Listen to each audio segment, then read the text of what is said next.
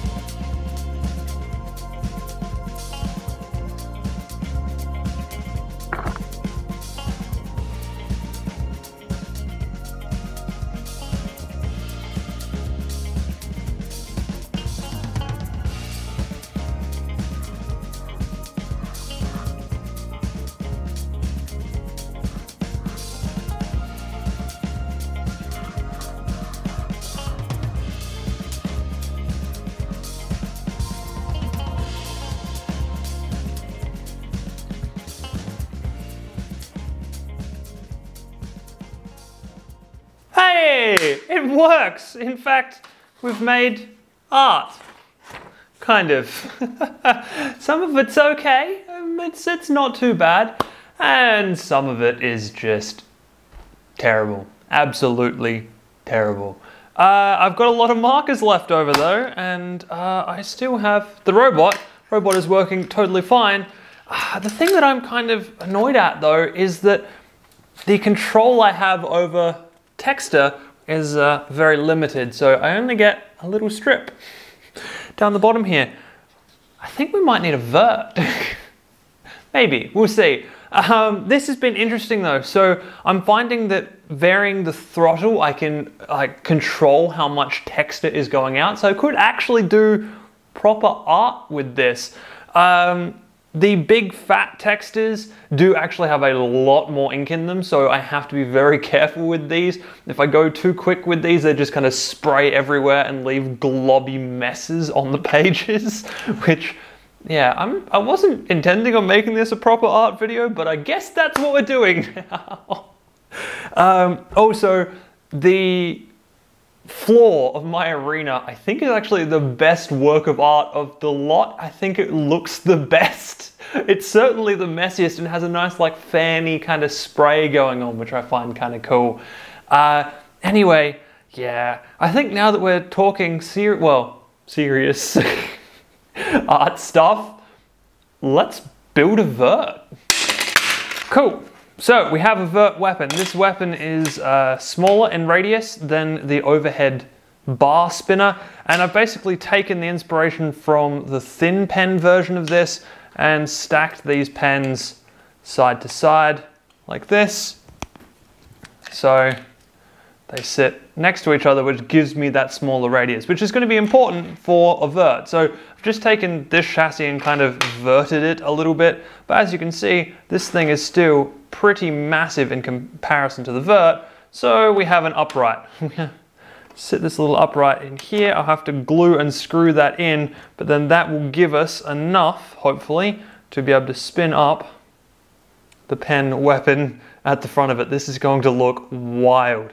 All right, let me get some electronics into this thing. Oh, man, this thing took a long time. The electronics are actually really stacked um, badly inside of here. The electronic stack up I use just has way too much wire and even though this is a thicker chassis on the whole, than the other design. Uh, yeah, still struggling to get the wires into this. Also, I need to tape those wires back there so they don't get caught in the spinner. But you can see we have the spinner in place and it looks kind of terrifying. This thing feels quite weighty though. I'm gonna have, I'll, I want to double check this because this one does make weight. In fact, uh, this chassis is like 96 grams or something. So I could put a 55 gram spinner on it and it would actually work which is kind of crazy and these textas are not 55 grams. But this guy, I'm gonna throw some hot glue on the wheels so that the wheels stay in place. And then I think we should add some textas and uh, do some more art.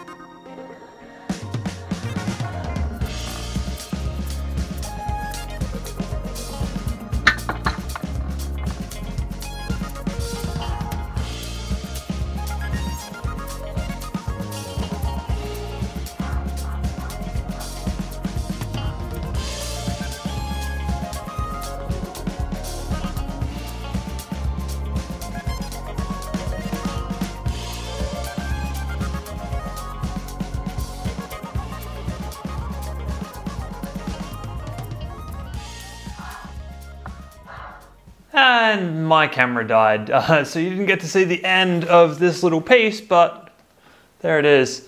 Um, the vert is spectacular. This thing is way easier to control and point and kind of make more structured art, I guess.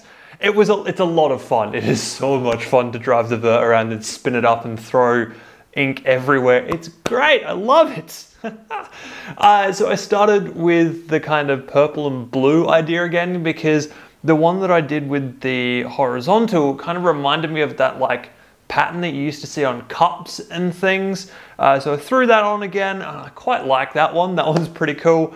Uh, this one that I've purposely done in the four different colors is pretty cool. And then there's also a couple of others that are just like splash paper that were in the arena that also looked pretty good. So I'm pretty happy with that. That has gone quite well. Um, but I did make two of these. I did put them both on separate uh, control systems, and that was because I was intending to paint each other, like to have them paint each other by spinning their weapons with both of them in the arena at the same time.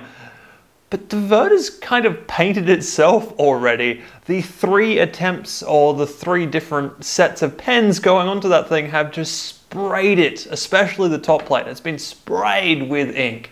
Uh, I'm actually a little bit worried, to be honest, about opening that thing because the lid is not quite airtight. So I have a feeling there's going to be some pools of ink inside the vert when I get there. Eh, we'll, we'll look at that later.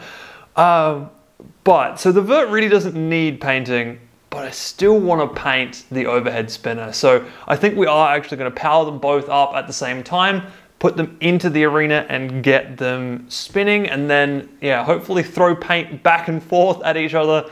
And I might throw some paper up on the walls too and makes it a bit more artwork. Why not, hey?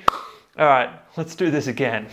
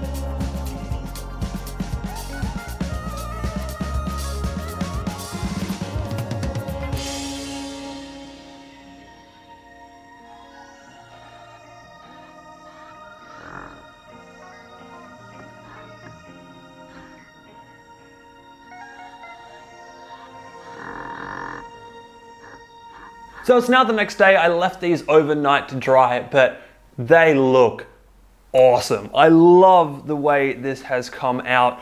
The textas kind of mer like merging colors together and bleeding down layer lines and stuff. It just looks awesome. It looks better than I was expecting it to, that's for sure. Also, a couple of interesting notes. Apparently, when you mix red and orange, uh, sorry, red and green texta colors, they become black. Who knew? Definitely not me. Uh, and also, when I first ran the vert, I was running it with yellow and orange and spinning it up as you normally would with a vert, but that didn't actually spray ink onto the top of the overhead, so I ended up switching it the other way around, and when I put in the new textas, it became a downward spinner, which did actually throw ink all over the top of the robot. Beautiful! Uh, I now also have a stack of artwork uh, some of this is really cool. This one in particular, which has just got colors going everywhere from the jewel spinners in the arena. Oh, just great. Uh, but of course, I have two spinners. What happens if they hit each other?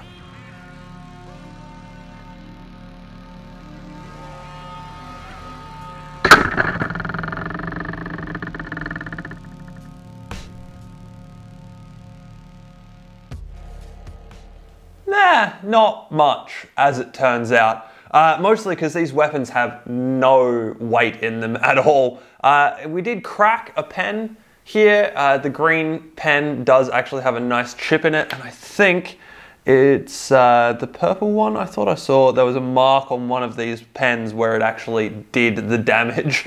Uh, so it was a little bit less, like, it was a bit anticlimactic, especially compared to what I was expecting, but oh, it was still cool. Uh, anyway, I think I'm gonna end this video here. This was a lot of fun to do. I've had just a crazy amount of fun doing this. The vert in particular, I'm going to keep the vert set up as a pen spinner and I might even use it for more art projects in the future. Don't, don't really know. The overhead will come back in a future video with a very different weapon setup on it, uh, but we'll leave that for now and uh, move on with that later on. Anyway, I hope you guys enjoyed this video as much as I did, and I will see you in the next one.